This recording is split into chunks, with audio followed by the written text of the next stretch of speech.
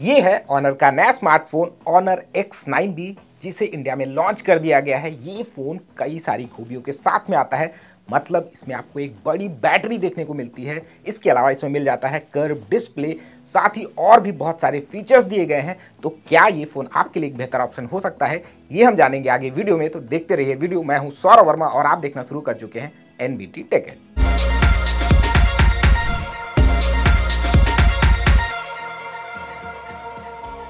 तो सबसे पहले बात कर लेते हैं फ़ोन की डिज़ाइन की। तो जैसा आप देख सकते हैं, इसके रियर में कैमरा सेटअप दिया गया है, जो आता है वॉच स्टाइल में मतलब वॉच के डायल जैसा। इसमें एक कैमरा सेटअप दिया गया है। इसमें ऊपर की तरफ़ आपको ट्रिपल रियर कैमरा सेटअप देखने को मिल जाएगा। मतलब तीन कैमरे दिए गए हैं, जबकि नीचे की तरफ़ आपको फ्लैश लाइट का सपोर्ट मिल जाएगा। अगर डिज़ाइन वाइज ही बात करें तो इसका जो बैक है, वो आता है मैट फिनिश के साथ में, जिससे जब आप फ़ोन होल्ड करेंगे तो काफ़ी अच्छा एक्सपीरियंस मिलेगा।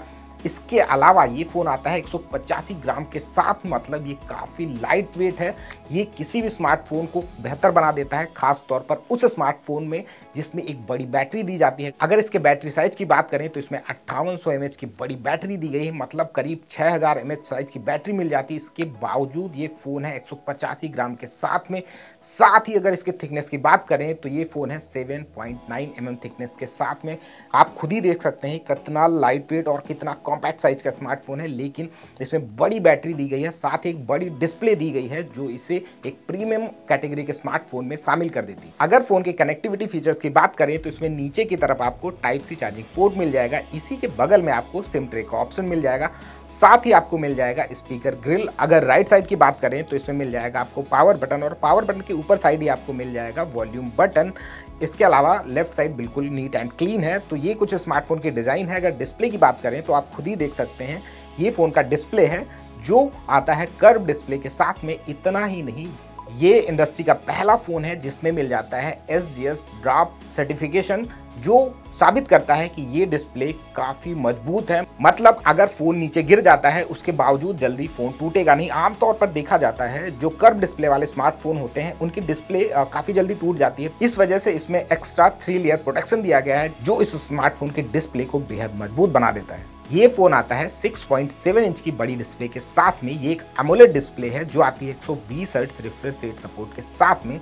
इसके अलावा इसमें मिल जाती है आपको 1200 निट्स की पीक ब्राइटनेस जो इसे इंडोर और आउटडोर दोनों इस्तेमाल के लिए बेहतर बना देती है तो डिस्प्ले वाइज ये फ़ोन बाकी स्मार्टफ़ोन से काफ़ी बेहतर बन जाता है।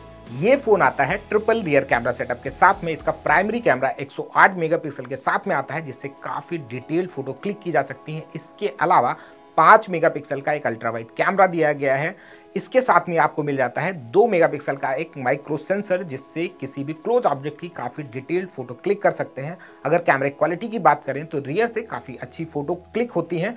नाइट फोटोग्राफी के मामले में फ़ोन ठीक ठाक है। इस फ़ोन में आपको मिल जाता है मैक्सिमम 8x का जूम मतलब किसी भी दूर के ऑब्जेक्ट की एक डिटेल फ़ोटो क्लिक कर पाएँगे। अगर सेल्फी की बात करें तो फ्रंट पे आपको मिल जाता है 16 मेगापिक्सल का एक कैमरा, जिससे काफ़ी हद तक अच्छी फ़ोटो क्लिक कर सकते हैं सेल्फी। अगर फ़ोन की वीडियो क्वालिटी की बात करें तो इस फ़ोन के रियर से आप 4K वीडियो शूट कर पाएँगे। वो भी 30 fps सपोर्ट के साथ में। वहीं 1080 पिक्सल वीडियो रिकॉर्ड करने के लिए आपको 60 fps का सपोर्ट मिलेगा। तो काफ़ी अच्छा है, खासतौर पे जो कंटेंट क्रिएशन करते हैं उन लोगों के लिए। अगर फ़ोन के प्रोसेसर की बात की जाए तो इसमें मिल जाता है octa core Snapdragon six gen one processor जो आता है Android 13 based Hi O S seven support के साथ में। इसमें आठ जीबी एक्चुअल रैम है, साथ ही आठ जीबी वर्चुअल रैम सपोर्ट दिया गया है। इस तरीके से कुल सिक्सटीन जीबी रैम सपोर्ट मिल जाता है। साथ ही इसमें मिलता है आपको दो जीबी का स्टोरेज जैसा आपको मालूम है, ये फ़ोन आता है अट्ठावन सौ बैटरी के साथ में। कंपनी का दावा है कि इस फ़ोन को आप सिंगल चार्ज में करीब तीन दिनों तक इस्तेमाल कर पाएँगे। लेकिन अगर मैं अपने यूज़ केस की बात करूँ तो ये फ़ोन सिंगल चार्ज में करीब 12 घंटे से एक दिन का या 24 घंटे कह लीजिए, उसका टाइम निकाल देता है तो ये मेरे इस्तेमाल के लिए एक बेहतर बैटरी साइज़ वाला स्मार्टफ़ोन बन जाता है।